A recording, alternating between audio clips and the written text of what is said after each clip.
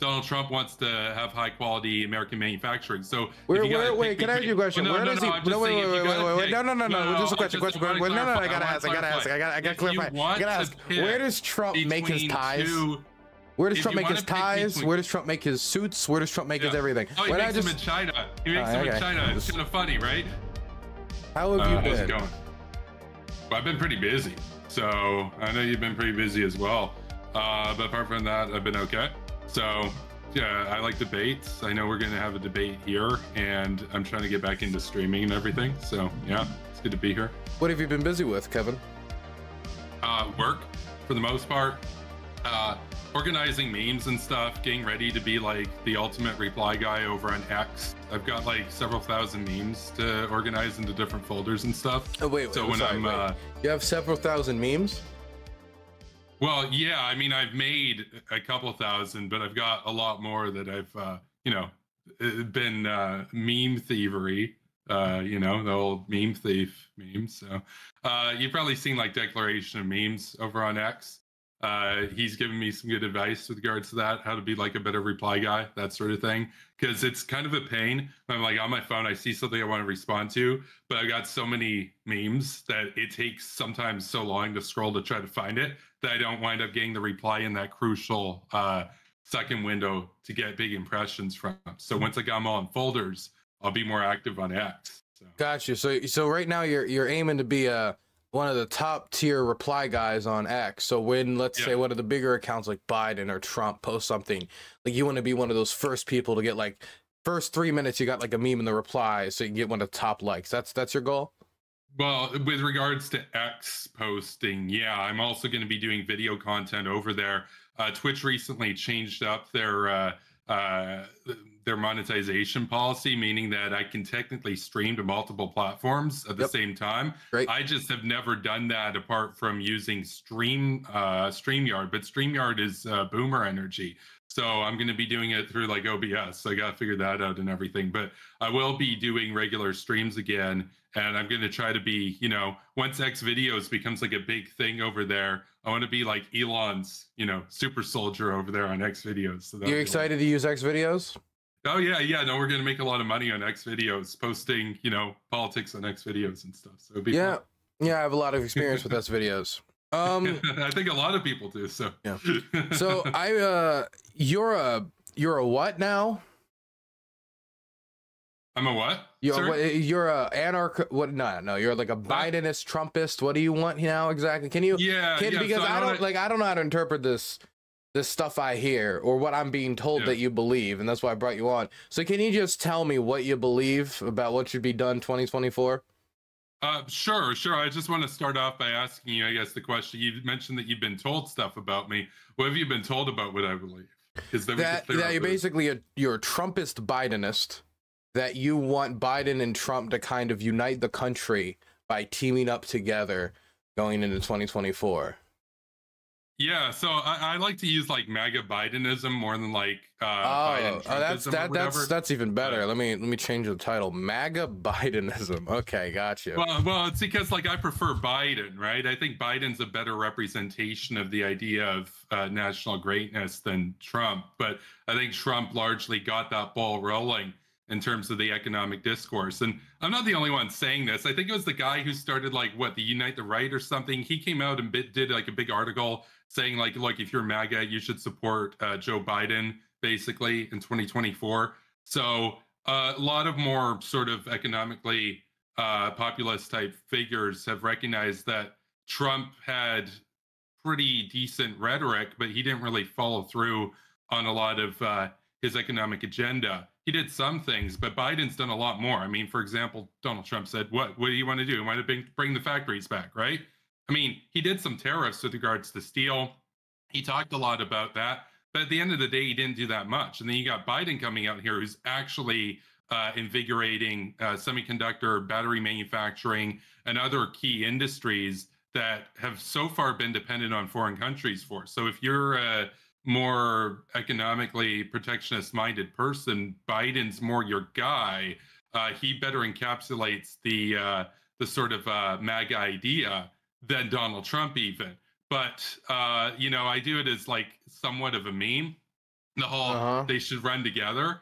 Uh, but I'm I'm dead serious. I think Donald Trump would make a better vice president than Kamala Harris, though. I think Kamala Harris has got to go. So, So, so can you give me so the your Biden down. serious the serious way of interpreting this is Biden president, Trump vice president?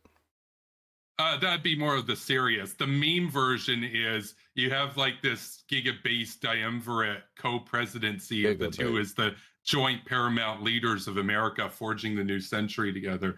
That that's more like the meme version, but in reality, Joe Biden's more of a leader. So the, Donald Trump's more of like a, a charismatic spokesperson, but but Donald, but Joe Biden's more of like a get things done kind of guy. So my problem, I mean, there's a lot of problems I have with this. Not only because there's a lot of things that they both believe and that both of their parties stand for that are incompatible, but I also just don't believe that these people would be able to work together. I believe they despise each other, uh, that their bases despise each other, and that Donald Trump uh, fundamentally does not uh, appreciate American democracy in the way that uh, other politicians do and I think he only sees it as a tool to help himself when it can't help himself, and a burden when it is, you know, a barrier between him and power, as he showed in 2020. And the idea of putting that man anywhere close to the presidency again feels like a dereliction of duty to protect the Constitution, which he said he wanted to suspend.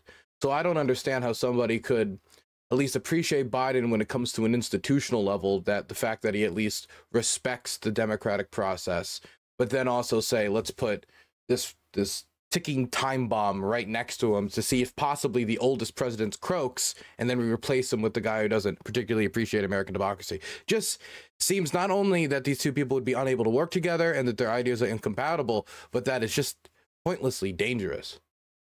Well, aware, just uh, right off the bat, I'm aware that they don't really like each other too much.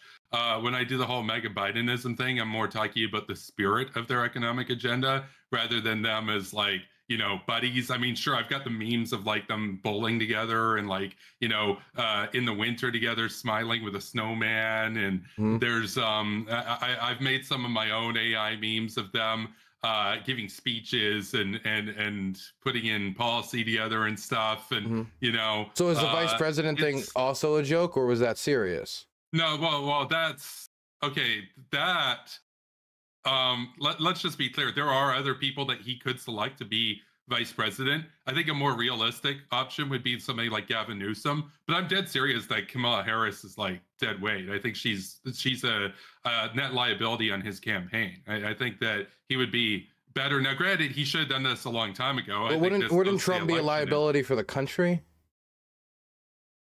Um, wait, how, how so relative to the other people in his party? Like again, because we're talking about Republicans. I've already made it clear. I, I Well, think I Biden mean- is preferable, but if we're I talking mean, about like compared to other. Republicans, like you be wait, okay. So you think Donald Trump is the best of the Republican options?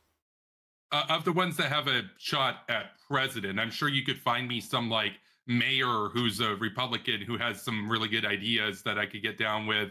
That's like in Iowa or something. But as far as the guys that actually have a shot at it, the people that have been in the, the actual debates, the official pandemic presidential debates on Trump the uh, or, or the primary debates for presidential nominee it's all on the uh, Republican side, uh, he's by far the best. I mean, we're, we're talking about, and I'm dead serious when I say this. He's actually the most progressive Republican ever elected president. You can name me, I don't know, let's say uh, it was his Supreme Ronald Reagan. Court Ronald Reagan was appointments that led to the overturning of Roe versus Wade.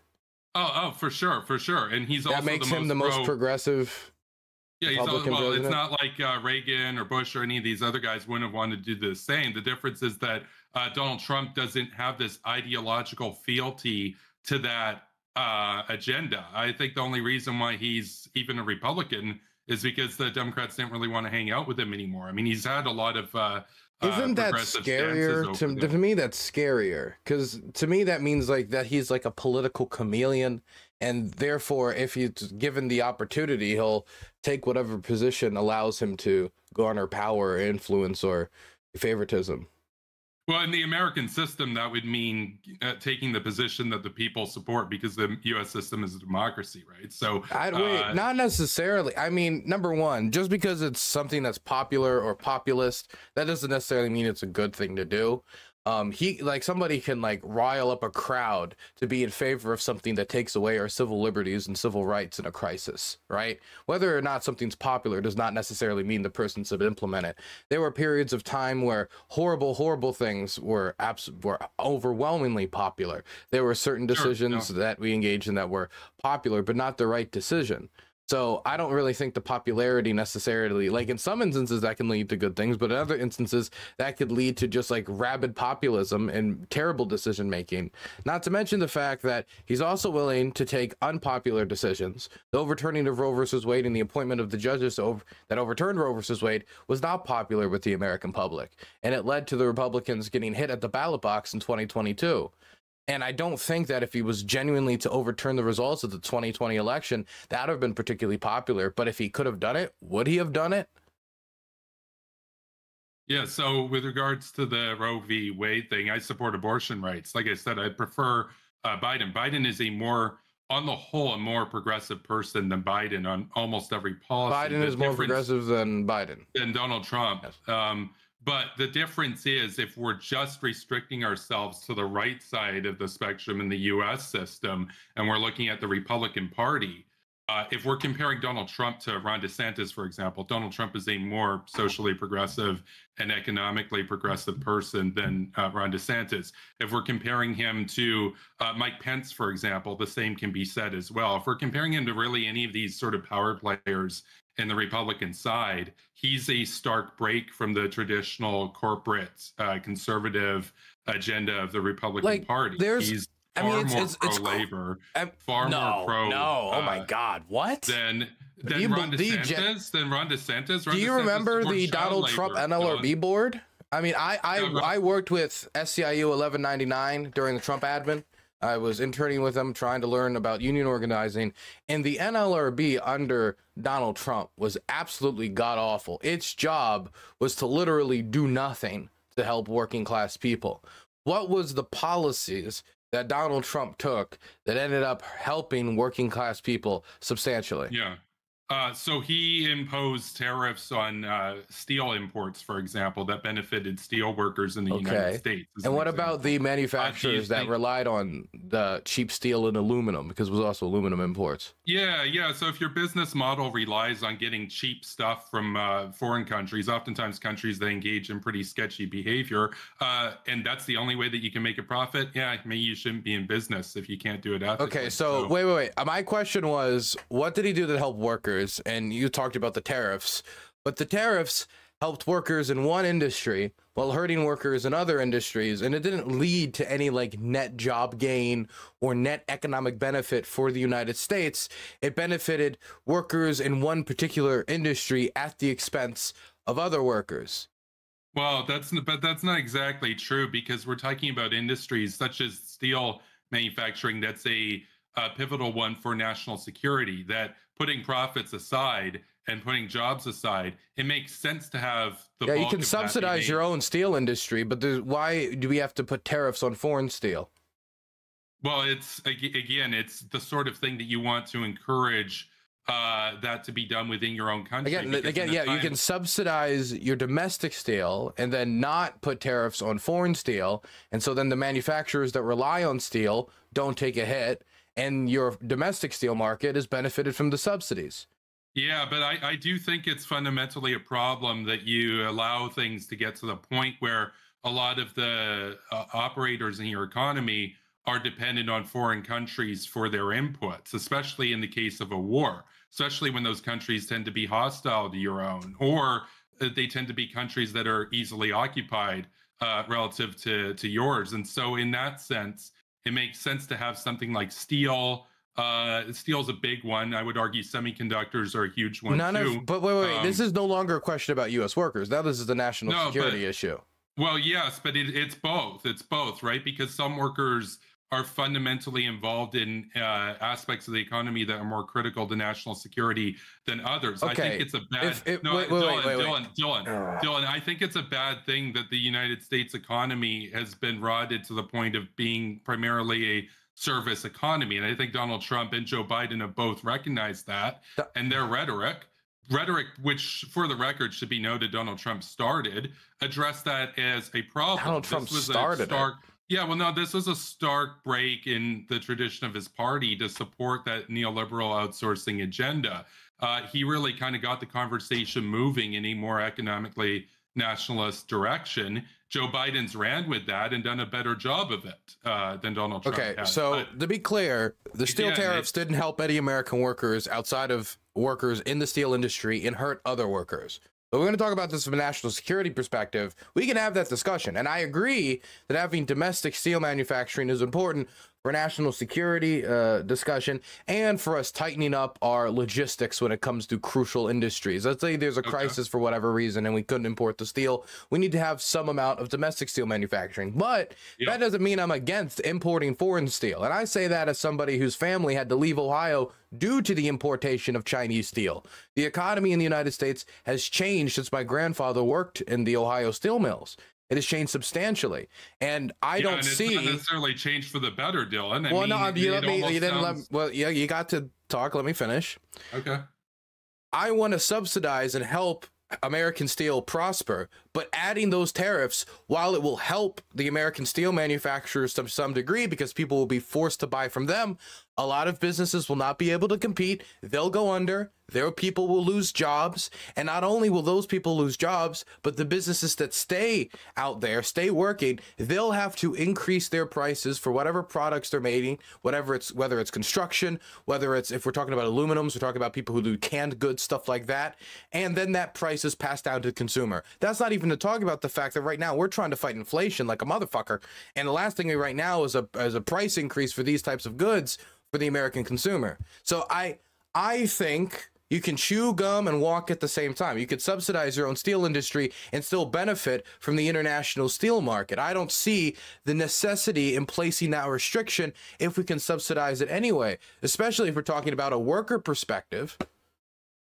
Yeah, so I, I would say that fundamentally you're engaging in this with accepting as a status quo the globalized economy. And I would yes. argue that, especially on something such as steel, uh, being self reliant is more important than.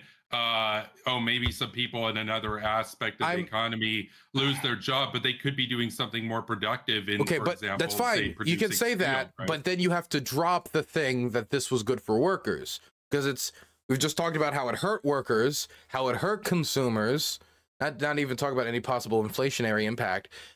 I don't know how well, we're talking about this. Like we can talk about it from a national security perspective. No, can, but it didn't help workers. Dylan, Dylan, there's going to be growing pains in transitioning. Okay, but then how does it help workers even in the long run? Then? Because we're talking about in the long run, being a self-reliant economy would fundamentally be better from the standpoint of labor within the U.S. and Canada. Uh, but we can limit this to just talk about the U.S. Than it would be to continue down the road of perpetual outsourcing to the point of becoming an entirely uh, service-oriented uh, debt economy essentially. So in that transitional phase, there will wouldn't it be better for. I, like I can understand trying to promote your own like giving initial startup capital to stuff like they with the Chips Act. I agree with that. But if I started saying okay. stuff like, no, we're not going to buy Taiwanese chips. We need to have, make all the chips in the United States. Now, would that help the American chips industry? Absolutely. The American chips yeah. industry would see skyrocketing investment overnight but it would also lead to probably 200 300 400 500% price increases for laptops uh, cell phones all sorts of goods the military would also have that same problem and so in my my position would be accept the Taiwanese chips while we build domestic chip manufacturing, which, from my previous conversation with you on the issue of Taiwan, was your position as well. So I don't understand yeah. why that same logic wouldn't also apply to steel. Okay, well, yeah, we can run this through. So you talked about the price increases, for example. Let's understand if we if we set, for example, the goal uh, which I'm kind of proposing, is to be basically self reliant on steel and chip manufacturing. Uh, that doesn't mean it happens overnight. The question is, do we keep importing until we get there? I'm not opposed to importing until we get there. What I'm opposed to, I guess, is but that. Idea. But that's not what Trump. No, what Trump. Not, wait, no. What we're no, talking no, about? No, Trump's steel but, tariffs. Trump's steel okay. tariffs was pl- put in place while we still needed the steel in the American steel industry. The growing pains you were talking about, we hadn't yeah. even started feeling those. The yeah. The Look. the the uh, seed had not been planted. Yeah, but I'm not I'm not saying that his policy is perfect, but I'm saying it was better than what we were doing before, which was basically just let everything go abroad. And to go in the other direction, even if you go too far in the other direction, is still better in consequence than to continue down the course Can, you were going. can you which is give a me course of- any? which is a course of ultimate dependence to the point that any shock in the world system, whether it be a war or a natural crisis, could entirely disrupt your economy. And, in, and especially in an area like steel or, or chips, uh, it could actually hinder your ability to wage war. That's why I discount the the price increases because at the end of the day, you're better off paying higher prices for things. we would never apply this logic itself. anywhere else. Like if I'm in Ukraine and I'm like, hey, we need to buy, like for example, the Czechs right now are trying to argue with the French and the Greeks and the Cyprians. Uh, what do you call Cypr- Cyprus? I don't know what you call. They're Cyprus, but what do you call their people? Cypriot? Cypriot? Cypriots. Okay, Cypriots. Yeah. Sorry, I, I've never really had to talk Yeah, about no, one of my that much. friends actually lives in northern Cyprus here. I think they follow me on Twitter. They have like the little. uh Do they have the little helmet icon? Yeah, War Yeah. Kettle. Yeah, yeah. But yeah, War Kettle's in He's him. up in TRNC, so yeah. But um, they're trying to debate not buying foreign shells outside of the EU to send to Ukraine. Well, Ukraine wants those foreign shells. The Czechs say will facilitate the purchase of 800,000 shells. They said they could get it to their country in a week. That would be amazing. I mean, if we could enter those shells into Ukraine, I mean, the 500,000 shells from South Korea, that had an impact. But the French, the Greeks, and the Cypriots don't want to do it because they want all of the money to be put placed inside the European defense manufacturing sector. And the four Right. billion dollars that could be used to buy those foreign shells could instead be invested in, say, the French shell manufacturing industry or Rheinmetall, one of the German defense, something like that. Now, I understand that logic, but number one, the French said that if they didn't hit the 1 million number, then they would allow the foreign cells, you know, when they said they were going to hit a million shells by March and they Yeah. didn't. So they kind of Yeah. lied a little bit, and that is the French being the French. Well, that's politics, though. But, but let me let me just quickly say from a Ukrainian perspective, right? right. They need the shells now.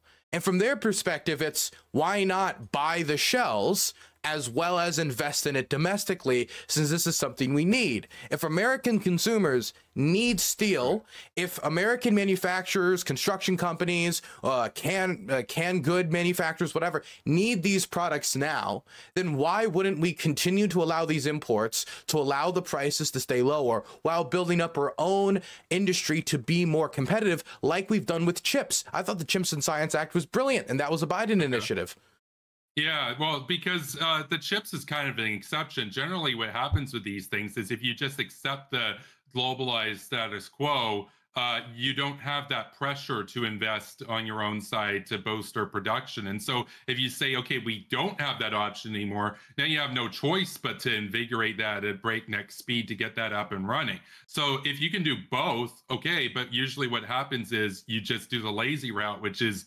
continued dependency, and then nothing ever gets done on the domestic level. I mean, you've seen this in many industries in the U.S. where, uh, in Canada, where it just gets sent abroad. Of course, and but nothing. This is the thing that scares me. Let's say we fail. It's not impossible that we try to build up our own manufacturing sector and, and we fail, right?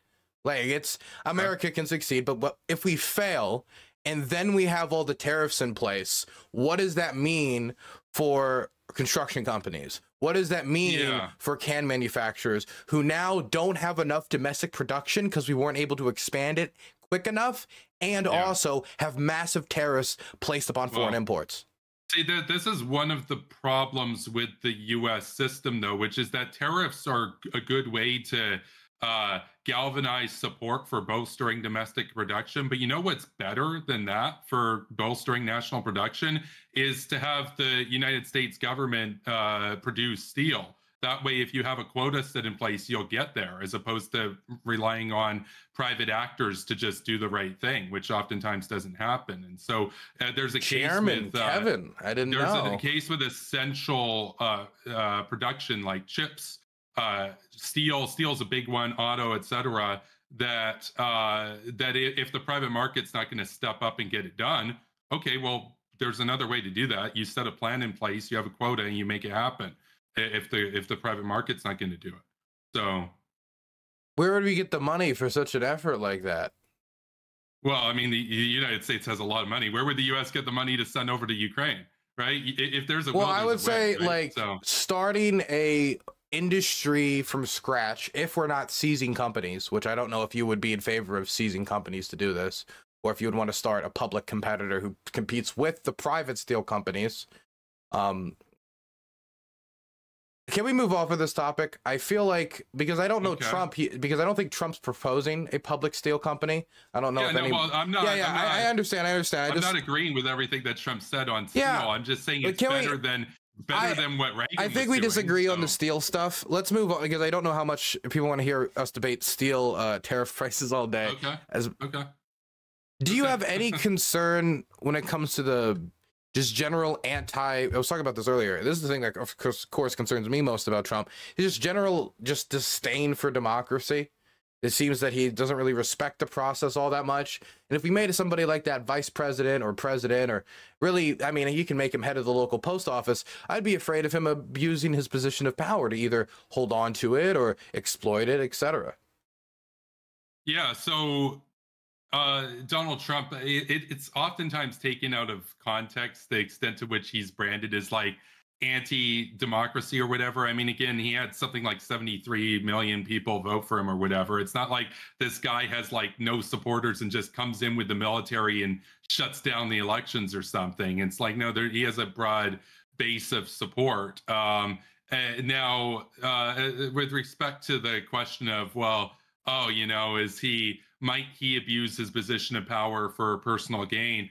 Uh, I'll say this: he wouldn't be the first president to do so. I, I think I think you should probably have an investigation into Bill Clinton's relationship with Jeffrey Epstein, for example. Um, and, and that and that guy got two terms. So you know, Donald Trump only had one term. Uh, the difference is uh, Bill Clinton sent all all your jobs abroad so you could have like dollar stores and stuff and have like cheap plastic goods that break in two days. Donald Trump wants to have high quality American manufacturing. So Where, where, wait, can I ask you a question? Oh, well, where no, does no, he? No, wait, wait, wait, wait, wait, pick- no, no, no, no, Just a question, just- question, question. No, no, no, I gotta ask, I gotta ask, I gotta, I gotta clarify. I gotta ask. Where does Trump make his ties? two- Where does if Trump make his ties? Where does Trump make his suits? Where does Trump make his Yeah. everything? Oh, he When I makes just, them in China. He makes them okay. in China. It's Just- kind of funny, right? That's why I say. Biden's a better champion of actual economic nationalism than Trump. Trump's got pretty good rhetoric. Trump's also kind of a hypocrite. He's kind of a goofster. He's kind of a jokester. He's kind of funny. Uh, you know, there, there's a lot of uh, there's a lot of humor in that. I, I think it's kind So- of funny that the hats and stuff are made in China, personally. So you know, um, like you know. for me, I think Trump genuinely just doesn't give a give a fuck about democracy. I mean, back since 2015, anytime he'd lose, he'd blame something else outside of just the fact that he lost. Whether back in the primary, he'd say, "Well, no, there was this one team that was doing this phone banking tactic that stole votes, or mm-hmm. they did this one thing with Ben Carson, or this thing there, Yeah. or they stole it from me." And then when the 2016 race came around, he refused to say he would accept the results. And then when he won, that wasn't enough. He also mm-hmm. still claimed, no, actually, it was stolen from me. Still, it's just that millions of illegal, still not substantiated, by the way, years later, millions of illegals had also stolen the popular vote from me. Then, four years in office, comes around 2022. He says straight up, if I lose, this is in advance of the race, if I lose, it's rigged.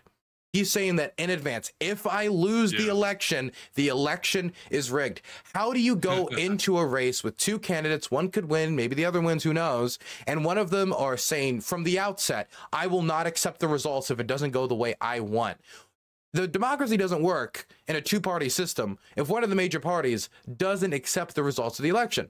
And when the results came around and he lost, he didn't accept the results of the election like everybody could have told told you what he would have done from just seeing his statements beforehand. He calls the Secretary of State of Georgia and tells him to find the votes to make him win, gives him the exact number of votes he's down. The exact number of votes he's down. He doesn't say, hey, I heard that some votes aren't being counted, count them all. He says, 13,321. Oh, that Right, just so right. happens to be the exact amount he's down. He is trying to intimidate him to give him the votes. He even said that if you don't do the right thing here, consequences will come. And when election season came around again, what did Trump do? Supported his primary opponent, tried to punish him for not stealing the election for him. That's not even talking about writing up the executive orders to seize voting machines with the military. That's not talking about the false elector plot. That's not talking about how he delayed after the protesters on January 6th stormed the Capitol and were bashing down the windows, how he sat in his room locked for three hours as people, his children, everyone was begging him to do something. But his response was,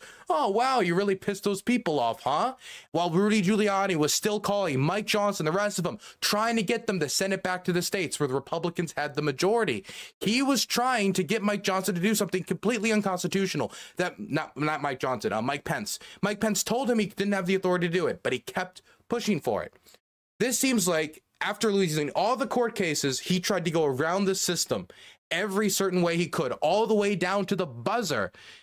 And now he's coming back around again, still not accepting the results of the election, headed to 2024. If he loses, will he accept the results? No, he won't. And then we'll be in the mess again. But thankfully, at least he won't be controlling the institutions. If we let that man near the institutions, man, how can we at all trust him to treat those institutions responsibly? So, Dylan, I got a question for you uh, because you're using here your like uh, referent group or your referent uh, referent uh, interest here is the idea of constitutional democracy in the United States. Yes, right? and you Uh, are and- Canadian, yeah. so I don't know And how so- much that matters. Well, no, no, no. I, I want to talk with respect to that referent uh, interest that you, you're phrasing this around. So, Yes. what do you think would be more harmful to that? Uh, banning a guy that 70 million people or more want to vote for to be president, or letting him run and say, "Oh, well, maybe it's rigged if I lose or something." What do you think is more harmful to democracy? Banning the guy it that people want? depends it or- depends on what he's done it depends on whether or not he's eligible based on his own behavior whether or not he's popular whether or not he he like a lot of people clap for him at his rallies or millions of people think he's a cool guy shouldn't be the only determinant factor on whether or not somebody can run for president. If somebody intends to destroy the system or tried to destroy the system tried to take advantage of the system tried to cheat the system then we ban them. If somebody in some nascar race is known to be like a crooked cheater who like slashes everybody else's tires and does everything they can to circumvent the system even if they're fucking dale earnhardt they could be the most popular nascar driver in the world they might get suspended from participating in the system if they can't play fairly. And while of course this is a lot higher stakes than some nascar race at the end of the day if donald trump is trying to circumvent the system illegally and he is trying to steal the election and that is what a court decides how could we possibly allow a man like that to run? Now personally I would like to see Donald Trump get defeated in an election. But I also know that institutionally, institutionally, if he is found in a court of law to not be eligible to run, he should not be allowed to run. Because we need to defend the institution. So it raises a couple of questions. There are kind of two directions I want to go in this, and I'll just make this right now just so that we kind of know where I want to go with regards to that. The first point is uh, if you do, do go in that direction, a court, whether partisan or not, rules that he's not eligible to run. I don't want to sound like Tim Pool here, but that would kind of be the point when maybe Tim Pool would have a point about maybe a civil war happens. That's where you get into the territory of maybe a civil war. I'm not saying it would happen. I'm just saying that's what would actually have a chance of that happening, as opposed to oh, there's they're teaching We- transgender people. at I mean, we really don't. It, it all depends because the the right now the Trump legal strategy is delay, delay, delay, and everyone admits it. Even his circle admits it. That his goal is to keep delaying these court cases until after the election, so he won't. election, yeah, right. so so then he can you know dodge it all. But yeah. If some of these like some of the decisions if the court if the court decides no actually we're not going to delay it we're going to do this now and then we get more evidence get presented to the public and we start getting audio out or all these people who have been flipping on trump who have history on his like as staff members or people who are close confidants we could get a bunch of evidence to the public about Trump's intentions that could change the national conversation, that could change how people approach the case. Obviously, if like in the last day in the Rittenhouse trial, we got some new audio of Rittenhouse being like, yeah, I'm going to go over there. I'm going to kill everyone because I want to kill. Then obviously that would change Right. the circumstances of the trial. For example, in the court case trial, it was already pretty bad from how uh, the court case trial around the documents about the classified documents and the mishandling. It already was pretty bad. But when that audio dropped of donald trump on audio saying yeah these are classified documents. I could have declassified them but i chose not to. And then he shows them what is assumed to be invasion plans of iran Like stuff like that just dropping out of the sky. I know that Trump is covered in so many scandals. Some of it kind of, yeah. you know, just kind of goes off like water off a duck's back. But I do think stuff like that could change the national conversation for at least the majority of Americans. That doesn't mean every American's now going to change their mind on Trump. Some people are dug in, mm-hmm. they're dug in deep, but it would depends on depend on how it was done properly. That's why if they end up making him ineligible, they got to have every T crossed, every I dotted. It's got to be done by the book, by the book. And if they can't accomplish that, then they shouldn't, because then it could backfire. So then that, that leads me to the other question, which is just the consequence of what would happen. L- let's just say there's no civil war or anything. Just some people go out in the streets and they're mad or whatever, but it's not like the end of uh, the U.S. if if that happens. Let's look at the consequence of it uh, assuming that the U.S. system continues on and nothing really big happens, and he just can't run for president. Now, eh, depending on when that is decided, uh, we might still be in a primary phase. And to this point, so far, at least, maybe I'm wrong about this, but my understanding is there's only really like a couple people running on the Democrat side. Like I know Cenk Uygur and Marianne Williamson are running, and then there's Joe Biden and we all know Joe Biden's going to win. Oh, and, and Dean Phillips, of course. Then, he, oh, that's okay, a close yeah, one. okay. And then on the Republican side, my understanding, and maybe I'm wrong here, is that really there's only two people. I think it's only Donald Trump and Nikki Haley that are running right now. Yep. I, I, am I wrong about that? Nope. So she would be the only one who would actually she... have electoral points then. So then, not necessarily. I mean, she would she have would an advantage. She would have an advantage, but as far now i am a democrat so i don't know how the democrat system works but how okay. it would work for example if joe biden had to drop out is that mm-hmm. uh, like the last day of the convention if it depends on when he drops out if he drops out at the convention he can award his delegates around okay. so he could like i nominate pete buttigieg to be president of the united states joe biden right. could straight up just I am the kingmaker. And so Donald Trump, hypothetically, I don't know if it's the same system. Maybe he would probably have a lot of sway over okay. who could replace him. Um, I assume it'd become a fight over like the MAGA loyalists who are trying to like be anointed the next yeah, Trump, like and there would they... be the other like like probably old guard and others yeah. who are anti-Trumpers who are like, see, Trump was a bar- terrible idea. He has got all this dirt on him, and now even more dirt on him. Let's not continue with this nonsense. Let's do something more moderate, etc. Maybe, so, but again, I don't know. It's all hypothetical. Yeah, because I I remember and I forget who I was. But if the question to, is going to be, do I like any other person in place of Trump? My answer is yes. Okay, okay. Well, we can get into that. I just I wanted to kind of go over the technicalities of how that would work. Um, if for whatever reason he's not able to run, uh, what happens? Because I remember listening to somebody. I can't remember who it was. I I'm not sure if it was Vaush. I, I know I watch Vaush a lot. Um, I think he said something like that it would go to basically whoever has the most electoral points at that point. And so far, that would only be Nikki Haley. Nikki Haley's the, the main person we would all so, consider. Yeah, Nikki Haley would be the so, main person we would think about. So in that case, where all of a sudden she like because I think right now that's the reason why she's staying in the race because it doesn't really make sense. Probably it's a big motivator. Yeah. Because it, it like let's just say there wasn't all this legal stuff regarding Donald Trump I think mm-hmm. she probably would have dropped out by now. I don't see a, a, normal path to victory in the in the context of the Republican. I mean, she's down her own state by like 40 points, right? So mm-hmm. if you lose your own state by 40 points, there's no point in staying in the race to see that. But if she's if she's banking on waiting for him to be deemed ineligible, uh, my guess is her sort of uh, and her donors, especially there. I know a lot of money is poured into this they're probably thinking, well, it would uh, kind of automatically. By the way, did you know that Biden has raised the most money of any Democratic presidential candidate ever? Ever, right? Yeah. Well, and and I think there's a reason why, which is that uh, he. It's because he's, he's just so of, cute. Well, no, I think it's. I think well, he's kind of safe if you're corporate. He's not exactly pro corporate. He's definitely Wait, okay. Before we get off, can we? Can but, you were going to a point with the Nikki Haley stuff? Can you get to the point? Okay. I feel like there was a question at the end somewhere. Yeah. Well, okay. The question here is basically, let's just assume that for whatever reason, if he's deemed ineligible, he's not able to give his delegates like I don't know Vivek or something. It'd probably be Vivek if he was going to go for that, honestly. But uh, let's just say he can't. He gets no say over it. It's just whoever's got the delegates at that point, and then Nikki Haley wins with like a few delegates, but they're more than any of the others have because they dropped out. Uh, mm-hmm. Uh, at that point, we go into a general election then, assuming that this is all decided before the end of the primaries, assuming she's just going to wait it out, um, assuming she has the money to do so.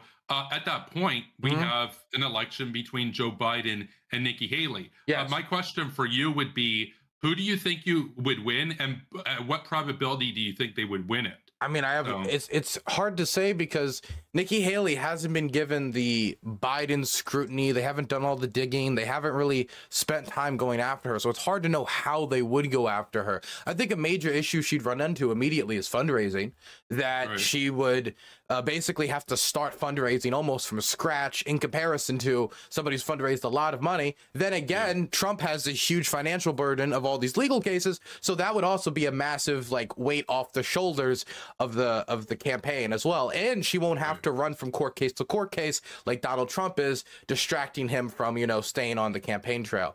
Um, so I, I think there are uh, obviously she's a lot less scandal ridden.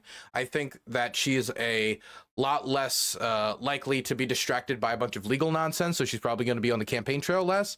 Um, I mean, campaign trail more.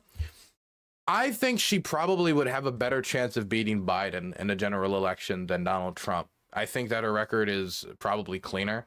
Um, but I mean, I still would vote for Joe Biden because I disagree with her on a lot of domestic stuff and still a lot of foreign right. policy stuff. I just think that she isn't right. the same threat to American domestic, uh, uh, uh the American domestic democracy in the way Trump is. And even See, if she wanted to be, I don't think she has loyalists in her pocket that are willing to take the risks that right. loyalists for Trump have shown they're willing to take. So I, I, to an extent, would disagree. I think, I think in both cases, I think Biden has the advantage going in on the general. I think Biden's going to win in 2024. Uh, but I don't think it's right. like, oh, yeah, it's 100% for Biden or whatever. I think if I do think Nikki versus, runs a better campaign than Trump. But I, I, think Trump has, I think more people would probably vote for Trump um, over her um it, uh, especially on the republican you, side i think more I, but here's the thing. there are so many people and i'm going around i was canvassing in ohio with progressive victory. Yeah. there are so many people that i met that are like i'm voting to protect democracy. I'm voting to stop trump. I don't want trump. I don't want trump. Once trump is kicked out of the picture like will those people still be motivated to go out and vote? Now when it comes to midterms and it comes to people down ticket that seems to be the case. I don't know if you followed New York's third, but I don't know if that's going to be the case for Joe Biden. I mean, not with the polling data that I've seen. I mean, yes, I mean, we've got some great economic indicators. We thought we were going to go into a recession. We did it. Right. We've got like the mo we got like sub like 4% unemployment for I think the longest period since like the 60s. We've got uh, more real wage growth. Inflation's coming down. Uh, we've got a lot of really positive economic indicators that while we still have issues with high amounts of public debt, we still have issues with high amounts of school school debt, medical debt, other issues like that. Right. Um, uh, at the end of the day, this is doing much better than any of the economists predicted, and it's in large part because a Biden stepped like stepped aside and let the Fed do their work. And so I am looking at that and I'm like, that should be a winning campaign. People, when you poll them, you're seeing them answer better and better for how they're personally doing with each poll. But you're not seeing that reflected in Biden's polling data. And that's something no. that that's something that concerns me. Well, I think there's some nuance there around the unemployment, for example. You've probably seen the meme of like guy goes up to a cashier and says, "Hey, look, the economy's doing great. We created five million jobs," and the the cashier's just like, "Yeah, and I have three of them." And then she's got her normal work hat, and then there's the Uber and the McDonald's hat on top of it. It's like you know, not all the jobs are great; they're created, obviously. And of course, you know, know you're never get to a perfect situation. It's just there's always nuance in these numbers, and uh, there's of course a way that it can be spun to try to make Biden look worse. Now, I think I think Biden's done a far better job than uh, than any of the other big Democrats would have done that that w- would have been in his shoes right now. Uh, I, I, think Biden. I think one thing that's in kind of in common with Biden and Trump, even though they don't like each other, is they're both not very ideologically rigid. They're both able to take policies from different directions that they see as working and I think that that's an advantage. I mean, you talked about how Donald Trump was a political chameleon and that that can be dangerous. I think that to an extent it can be unpredictable, and there there's always some danger in unpredictability. But I think rigidity is ultimately more dangerous, especially in a time of crisis, where if you just lock yourself into ideology, ideology like uh, uh, Javier Milei is doing in Argentina, for example, you'll you're on a speed run to run your country into the ground. I, under, I understand so. that, um, but the thing is, if you look at a lot of like oligarchs in like Eastern Europe, a lot of them are like that political chameleons where at the end of the day they like when it comes to ideology they'll wear whatever is necessary yeah. to serve their own interests and honestly trump reminds me a lot of those eastern european spoon-fed from you know i'm not going to say a royal bloodline but from an established bloodline you know maybe somebody that was connected to the party back in soviet days maybe somebody that's right. a established connected to high society trump reminds me a lot of that and so, do I think Donald Trump, who's talking about like invoking the Insurrection Act and going after all of his political opponents with his record, do I think that he'd be willing to take those steps? I do think he'd be willing to take those steps. And so for me, like that political chameleonist might mean in a blue moon, Trump might adopt a policy that's good. He did one yeah. thing. There's like a few things I like that he did. Um, the main one would be I forget what it was called, but it was something on criminal justice reform that I that I did have to give him at least some praise for. Even though now a lot of his right wing uh, compatriots now give him shit for it, and they said it was a mistake. um, at the end of the day, I think it's all in service of himself, and I think what he's come to the conclusion of is. I need to destroy the institutions because the institutions stopped me from doing things that serve myself last time when I tried to grab the horns of democracy. Okay. So I guess that, that kind of raises the other question, which is, you know, there's a lot of people, you know, Maddow and others who have very sort of hysterical predictions about what he would do if he wins again. I guess my question is, he was president for four years. Why didn't he destroy American democracy if that's what he wants to do? I guess would be the question. I mean, because he failed. He was there. Failed. What? That's why. I mean, Donald Trump is a businessman who is getting into politics for serious for the first time in his life and he, it was first time it was like it was 2015 he was involved to some degree with like lobby and stuff like that but he's not a public official. He wasn't a politician. Now he is but he wasn't at the time he gets elected um, probably to the shock of not only everybody around him, but probably himself as well. Uh, yeah. and he's now one of the most powerful people on the planet. And yeah. from the get go, you could see he didn't really have an idea of what he was doing. Firing, rehiring, firing, hiring again. I mean, yeah. going from everybody along the ideological spectrum to Steve Bannon to John Bolton to like every everyone, Rex Tillerson, Mike Pompeo, like just uh, Jeff uh, Sessions. Scaramucci, the mooch. Do you remember the mooch? Then there was the mooch. I mean, mean, he, he went through all these people, and I think a lot of it was him trying to get his footing. And if you talk to a lot of first time politicians, uh, and definitely in local politics, from my experience, for your first term, a lot of it is substantially just trying to figure out what you're doing trying to figure out the rules of the game, trying to figure out the ropes. And so I know a lot of people in city council for the first term, they basically do very little because they're spending the whole time trying to get their footing. And for Trump, yeah. we're talking about somebody that has who had, I mean, very little knowledge of right. politics or the international system, was burning through staffers like crazy, right? So anybody right. that was giving him a frame of how politics worked, he'd have to like start again when he brings in a new person. Yeah. And I think he fucked it up. And when you talk to Trump supporters, they'll say, oh, you know, he would have done so much better if he just didn't bring in all those establishment RINOs. But this mm-hmm. time, this time he's going to know what he's doing. And maybe he will, maybe he won't. Maybe it'll be the same thing again. Yeah. But I'm not willing to take the risk that this time okay. he'll know what he's doing. So I, I got to clarify then on this because uh, there's kind of this dual narrative about Trump that you'll see from more of the uh, more of the liberal side, like the established comedian sort of side, which is they want to portray him both as like this malevolent, almost like Hitler-like figure who's going to go in there and break down democracy and everything. But then they also portray him as like this bumbling idiot who doesn't know what he's doing. And I guess my question is, if he's a bumbling idiot who doesn't know what he's doing because he's incompetent or whatever how, Lukashenko, how baby. How, you ever met? No, you know, you know Lukashenko. You listen to yeah, Lukashenko, Lukashenko, talk about you. No, no I, you you did you ever see Lukashenko on the ice rink talking about COVID? did you ever see no, that? Lukashenko, Lukashenko. Let me let me tell this. No, no, I got it. Wait, let me finish. politics. Lukashenko, right? yeah, he has a lot. Okay, that's true, but let me finish. Lukashenko was on the ice rink saying that nobody here needs to worry about COVID because the ice, the cold, it kills it. It just it kills the COVID, and Right, because right. and if you get COVID, you just drink, and then the COVID goes away. what a brilliant Yeah. like now. So, Now let me But- let me finish. Let me finish. they Let didn't me have a democracy. let me there, finish. right? then let me finish. It well, there was a brief period where actually Belarus, its first election was a democratic election. And then Lukashenko, after becoming the democratically elected leader of Belarus, then took the reins of power, entrenched himself, and Yeah. then destroyed Belarusian democracy. This hasn't So only happened in Belarus, this has happened in many other countries, countries in West Africa. This has happened, Right. in, I mean, this it happened in other post Soviet countries.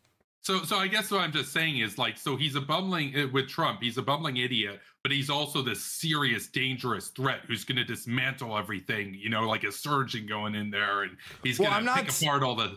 the I'm not it just- saying- it doesn't- let me be it- it- clear. Which narrative is it? Somebody can be somebody can be a threat without being like the smartest most maniacal threat in the world um for example i mean there are uh, republican politicians who are really really good at like blocking legislation or knowing how to slow stuff down but if you were to sit down and you would have a conversation about the most other aspects of politics like diplomacy or you to ask them about economics if that's not something they're very bright in and they'll and they don't know what they're talking about. I think Trump can be very good at certain areas. Like I think he's a really good PR guy.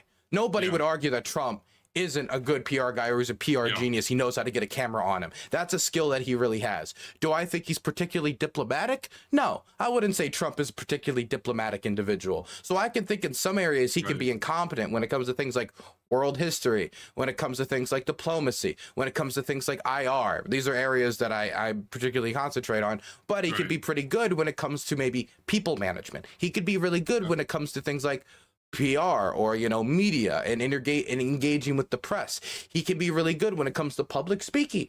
So he can have skills or be really smart in some areas and be horribly incompetent in others. Great example, Elon Musk. He's smart in some areas. I assume so. The dude's wealthy. He had to be smart in something. Yeah, even if even if being a scam artist. I don't know what he's smart in. I'm not big in tech. Okay, I tried to do a few pieces on tech. I hate it. But you get that dude start talking about Eastern European politics, and he's a hmm. knuckle dragging moron. And so I okay. my my point is that he could be smart in certain ways to like engage with the press going in the first term, not knowing anything about the rules of power. And then that's why when he tried to do everything at the end of his term, he fucked it up, fell place first, and then had no, he had to leave. But I'm not saying that he can't learn. I don't think you don't think he couldn't learn. He could look at, oh, this is what I messed up, or this person wasn't loyal, so I need to replace him this time. And they are thinking about that. And even Well, if even if even if they mess it smart up, person does though. A smart person learns from their mistakes. But guys like trevor noah they kind of portray him as like a bumbling idiot who can never learn Well, no, he's in some, no in some areas he is an idiot. Like if you talk to him about the Kurdish people, right, and he's like, "Well, the Kurds weren't with us at D-Day," and I don't know the he called the president Mr. Kurd. He's called the Mr. President of Kurdistan Mr. Kurd, right? We can go into all these. Those are stupid things to say. Or like, Right, right. I know a thing, about magnets. You pour the water on them, and then they stop working. That's the mag the magnets. Like, th- yeah, like he's these are kind of a funny guy these are stupid Like- things, but that doesn't mean he can't have competence in other areas. I mean, again, there's a lot of dictators who are really wacky. Idi Amin was a vicious, vicious, vicious dictator, but he had to have some acumen to climb up the ranks and be uh, awarded by the British like he was before he became dictator of Uganda. Yeah, okay. I, I see where you're going there. I guess I before I forget, I want to get into the other uh conversation, which was you said that you thought that uh the other candidates uh, Uh, wouldn't be as big of a threat to the US as Donald Trump. Like, do you Yeah. I guess I just want some clarification on that because I know when I watched the debate, for example, uh Nikki Haley said and we could have a conversation about the interpretation of this, but I know how I interpreted it, I, I- especially as somebody who used to support her. She said that she would meet China with quote with force if they went and blockaded or invaded Taiwan. Uh-huh. And to me, I think a nuclear war, uh, even even one that America wins with China, is more dangerous because even if they even if you win, all China has to do in that skirmish is just lob off a few uh, ICBMs at the agriculture in the Midwest and do some ground bursts, and now you can't grow uh, food in America for 70 years, right? So uh, even if you win, that'd be a great strategy if you know we couldn't shoot back at them. Right? Yeah, um, well, no, what I'm saying is uh, essentially here is that it's, I, it's posturing. Let's be clear, it's posturing. The, she's posturing a position that the United States uh, believes Taiwan is important for national security, whether it be freedom of navigation operations, whether it be the chip market, whether it be the continuation of American credibility in the region and the Taiwan's Relations Act and us upholding what has been the law of the land since 1979, the continuation of the status quo. Um, I don't, I understand that the rhetoric is getting more aggressive, but when it comes to the actual like force deployed in the region, I, I don't think that that is particularly like frightening me too much that statement no. I think it's posturing. I think it's it's intended to make the chinese think again when it comes to in- invading taiwan. She could say that and then literally do nothing when the chinese attack taiwan just sure. so just so that threat of it could dissuade an invasion. So even if we would never intervene, the Chinese thinking that we could yeah. could dissuade a war and we prevented a war that would have occurred otherwise yeah. if the threat was not made. That's the bet so I think she's making. Let me be clear. You might disagree with that bet. I don't even think Trump makes any of this calculus when he thinks of this shit. I think I, I, don't think Trump thinks about it. I think Trump flip flops at a moment on any of these decisions, just like he did with northeastern Syria. And when it comes to like doing something irrational that could start a nuclear catastrophe, I think Trump's statements about like, oh fuck NATO, we'll abandon NATO, Russia, do whatever you want, even if it's just meant to get a few more dimes out of Europe, statements like that create uncertainty about a defense commitment. Statements like that create uh, make the Russians wonder how committed are we really to Estonia? So, How committed are we really to Latvia? That's something that I believe is going to create a, a security crisis or more likely to create a security crisis.